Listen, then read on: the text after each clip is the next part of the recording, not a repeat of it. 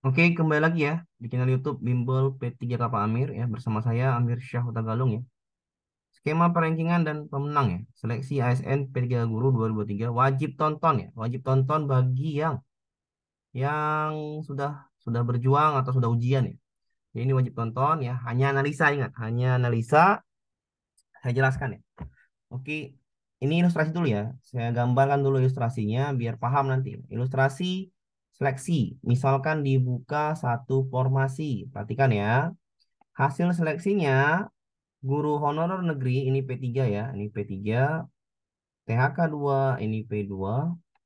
Honorer negeri ini P3 ini P4 ya. P4 yang yang apa namanya tuh yang honorer negeri tapi di bawah tiga tahun nih yang di ini. Ini kita anggap nih P4 non ASN nih.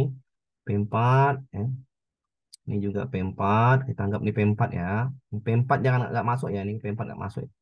P4 nggak masuk ya. Kita masukkan ke mari aja lah. Honorer negeri nih P3. Oke, ini P4 ya nggak masuk ya. Hmm.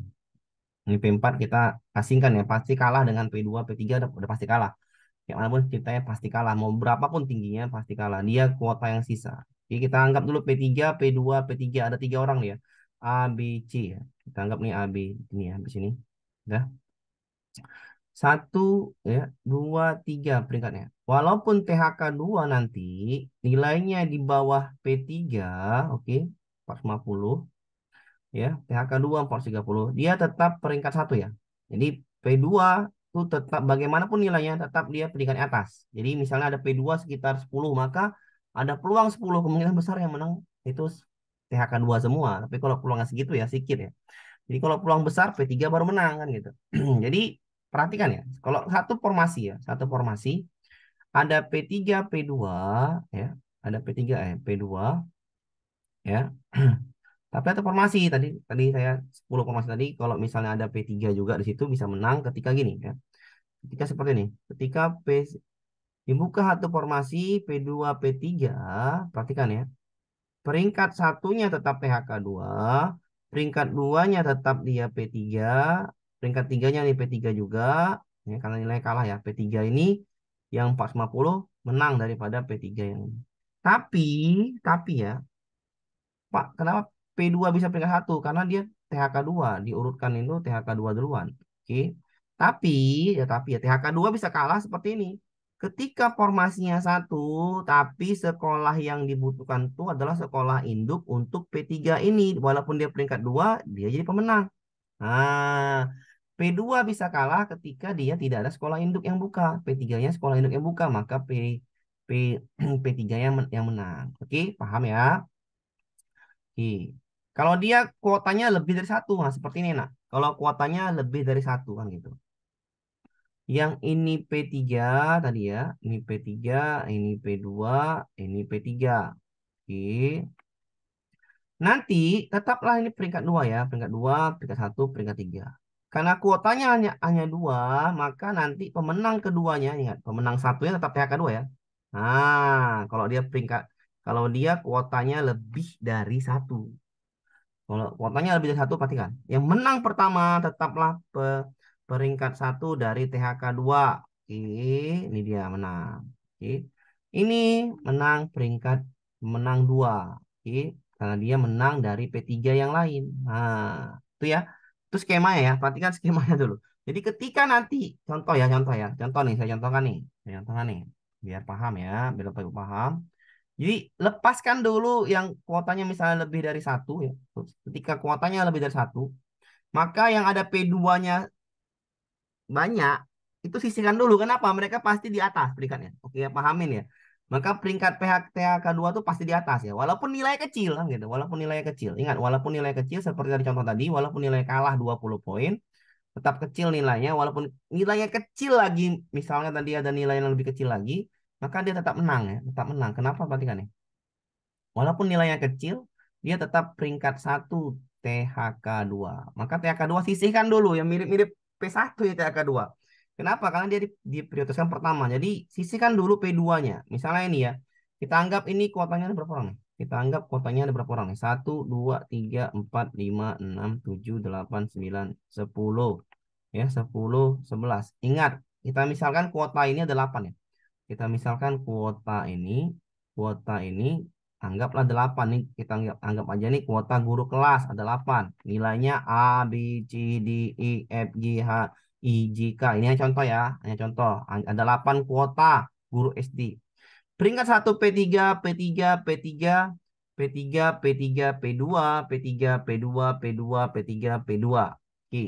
J serdik. Ingat, J serdik. Nah, P3. Oke. Perhatikan. Sisihkan dulu, sisihkan dulu yang P2 walaupun dia nilainya jauh ke bawah ya. Kalau ada P2 kuotanya lebih dari satu, ya, kuotanya lebih dari satu, maka sisihkan dulu yang P2, ambil dulu P2-nya ya. Kenapa? Mereka pasti menang ya. Mereka pasti menang kalau kuotanya besar ya. Kalau kuotanya besar mereka pasti menang. Kalau kuota satu oke bisa kalah P2. Tapi kalau kuotanya besar saya rasa tidak bisa kalah. Walaupun nilai kecil ingat walaupun nilai kecil P2 tetap diambil. Berarti yang men, yang peringkat satu ini adalah yang F ya. Kita anggap yang F ya. F peringkat satu. Oke, kita bikin warna hitam dulu aja. F peringkat satu ya, kita bikin peringkat satu. Oke, F ya. Habis itu yang peringkat dua itu adalah yang ini ya, H. Oke, peringkat tiga itu yang ini, peringkat tiga. Oke, peringkat empat itu yang ini. Oke. Ah, habiskan dulu yang berarti F ya, F F G eh H I K ya. Itu ya, habiskan dulu. Baru selanjutnya 8 ya, kuotanya ingat kuotanya 8 ya. Ingat kuotanya 8 ya. Kuotanya 8 ya. Kuotanya 8. Maka peringkat 1 F, peringkat 2 H, peringkat 3 I, peringkat 4 K. Ingat, tahu dari mana dia P3 P2-nya itu adalah bukan ini ya. Ini ini ini hanya dimisalkan ya. Ini, tahu dari mana ini P2 P3-nya itu adalah dari kartu peserta ya. Tapi saya nggak tahu ini contohnya, ini contoh. Jadi sisihkan dulu P2 P2-nya ini dia yang menang, F menang pertama, H menang kedua, I menang ketiga, K menang keempat. Oke, sudah ya. Baru masukkan, masukkan yang yang apa namanya? Yang P3, P3, P3, P3, P3. Oke, P3. Ini ya, yang menang cerdik dulu cerdik ya. Karena cerdik J ya. J ini peringkat 5 ya. J peringkat 5 karena dia cerdik. Nilainya ditambah ini teknisnya jadi 450 karena dia cerdik. Oke ya. Sudah ini penjelasan singkat nanti penjelasan detail nanti nanti setelah ini. Oke. 5 ini. Oke, peringkat 5 cerdik kalau kota 8. Oke ya. Berarti selanjutnya peringkat 6-nya adalah yang A. Yang A ya, peringkat 6. Peringkat 7-nya adalah yang B. Peringkat 8-nya adalah yang C. Oke, berarti yang gagal walaupun di peringkat 4 ini gagal ya. Ini gagal. Oke, kita kasih warna yang lain ya. Warna yang lain ini gagal, ini gagal. Oke, ini gagal ini gagal. Oke, ini ambil, ambil, ambil, ambil ya. Ada tiga orang yang gagal ya. D, E, G. Ya, D, E, G gagal. Oke, paham ya? Jadi kalau misalnya Bapak Ibu nanti tahu P2-nya berapa, sisihkan dulu mereka ke atas. Ya. Bapak Ibu paham P2-nya berapa yang P3 ya. Yang P3 ini paham P2-nya berapa, sisihkan dulu. Itu udah untuk orang itulah. ya. Itu untuk orang itulah. Nggak bisa lagi, itu udah menang lah pastinya menang ya. Oke. Itu udah pastikan menang. Ah, nanti, nanti ya. Nanti kalau kuotanya 8 seperti itu ya Kayak mana Pak yang di EG ini Pak kalau ada kuota induk? Ah, ya. Kalau mereka ada misalkan ya kuota induk, ya, kuota induknya ada, ya. Ini misalkan ada sekolah induknya. Nah. Ya, misalkan ya ini peringkat 11 besar ya. Atau peringkat ini besar, ini misalnya ada sekolah induknya misalnya di I, G ini. Ya nggak apa-apa, mereka nggak digeser, tetap aja di situ. Ya. Tapi kayak mana yang menang tetap ini ya, menang PHK 2 dulu, P2 dulu, baru yang masukkan P3 karena urutannya adalah yang yang diprioritaskan dulu adalah yang P2 ya, P2 di atas. Makanya P2 dulu baru P3 yang ada induknya ya, ada induknya atau yang tinggi nilainya karena berperingkat terbaik ya. Karena berperingkat terbaik maka yang ada induknya diduankan ke induknya kalau tidak ada di kebutuhan yang belum buka atau kan maksudnya ke sekolah yang kebutuhan yang membutuhkan bisa tergeser Pak yang induk ya bisa saja kan gitu. Kalau misalnya buka nggak masuk nggak masuk pemenang atau nggak masuk rankingan, maka bisa digeser kan gitu. Ya, tapi itu nanti saya pahamin lagi ya. Ini hanya sekilas saja ya. Jadi yang punya P2 ya selamat ya. Yang P2 yang P2 itu pasti nilainya di atas ya. Jadi artinya gini, Bapak Ibu yang P3, yang P3 ya. Kalau ada tahu P2-nya berapa, sisihkan dulu. Misalnya kuotanya 150, P2-nya 30. Nah, 30 kurangin aja 150 kurang 30, maka 120 untuk P3 sisihkan itu yang P2. Mau saya seperti itu. P2 tuh yang di atas ya. P2 tuh yang peringkatnya di atas. Oke ya. Nanti saya jelaskan lagi nih. Ini jelaskan singkat aja dulu.